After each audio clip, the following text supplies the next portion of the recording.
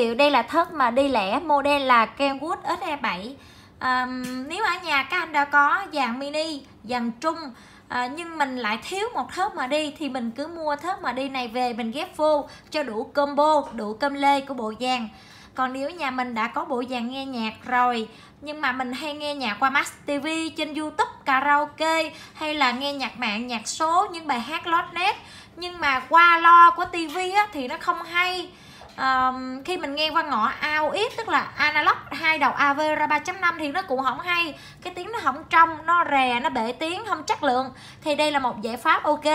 Mình mua một cái thớt mà đi về đầu tiên là mình hát tốt qua đĩa mà đi tức là mình sử dụng được chức năng mà đi nghe nhạc qua đĩa mà đi ok.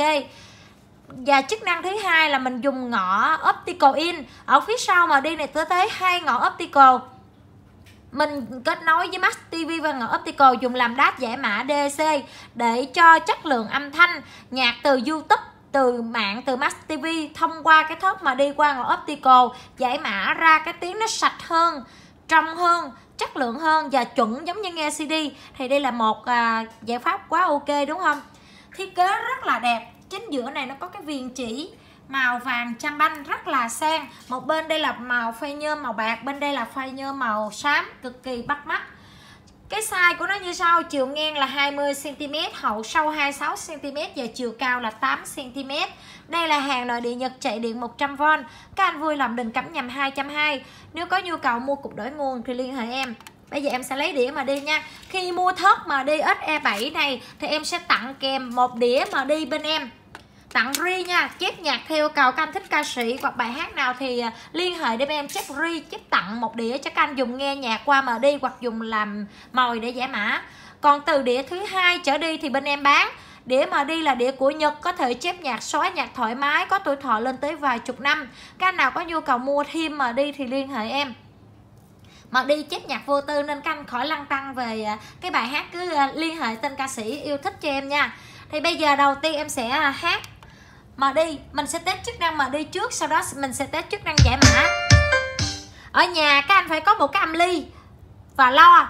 Thì mình kết nối với em MD này qua ngõ AV in out phía sau. Và kết nối thì qua ngõ optical. À, mình ghim ngõ in phía sau MD và ngõ out trên Mac TV nha. MD chỉ đọc đĩa MD và dùng giải mã cho cái chất lượng âm thanh nó hay hơn sạch hơn trong hơn. Không quyết định là à, hay hay dở hay dở là ở cam ly và lo tức là cam ly mình hay thì mình nghe nhạc hay còn anh ly mình cười cười thì nghe nhạc dở thôi.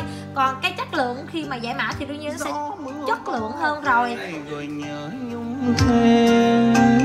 bây giờ mình đang nghe một đoạn clip test qua. Ngày vui còn biết đâu tìm tình yêu dần chết em liền.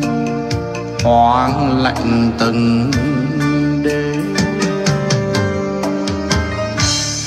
tôi đi rồi em ở nơi đâu? Nghĩ như cõi đời là giấc chim bao. Vậy là dàn đọc tốt đĩa mà đi đúng không? Khi mình bỏ đĩa vào, một là mình lay mà đi Còn nếu mình muốn dùng giải mã thì mình cứ bỏ đĩa như vậy. Sau khi nó nhận bài thì mình nhấn màu đỏ nè Nhấn tròn tròn màu đỏ cho này Đè vào nha Đè vào. Thì lúc này nó sẽ hiện chữ unlock và ở đây hai cái gạch gạch unlock và hai gạch gạch là giải mã nha. Bây giờ mình sẽ mở nhạc trên youtube.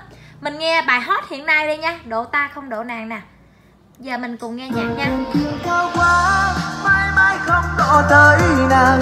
Vạn vật tương tư vì ai tiếng mõ vang lên phũ phàng. Chùa không thấy bóng bồ đề chẳng muốn nở hoa. Dòng kinh vì ngàn phủ lên mấy thu. Hồng trần hôm nay xa quá, ai đó không thể giải bày. Hỏi người xa đi vì đâu, chắc chắn không thể quay đầu. Mong này tan theo bóng phần trả lại người áo gà xa. Vì sao độ ta không độ nàng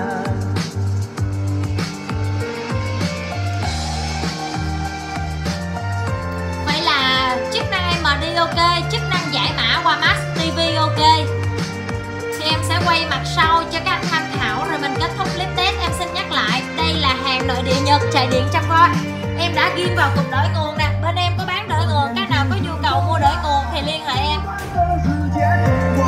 Theo